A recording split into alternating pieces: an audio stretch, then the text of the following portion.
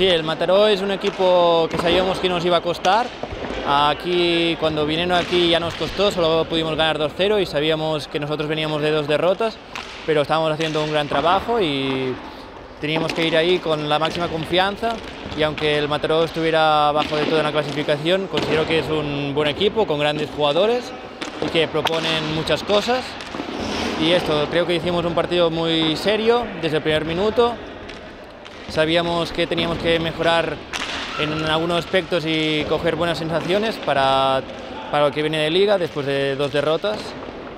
Y nada, ahora ya pensar en el próximo partido contra el Voltregá. Sí, el Voltregá considero que están haciendo una muy buena campaña, van quintos y esto ya te lo dice todo.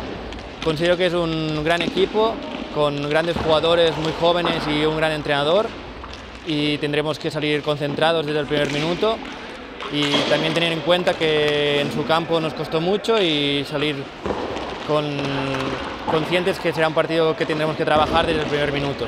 Es cierto que para un delantero siempre nos gusta marcar, pero también valoramos otras cosas como el trabajo en equipo, al final lo importante es el grupo, que el grupo funcione, si no marco yo, marcará otro, y lo importante es seguir creciendo como grupo, seguir creciendo de forma individual y que el equipo vaya bien.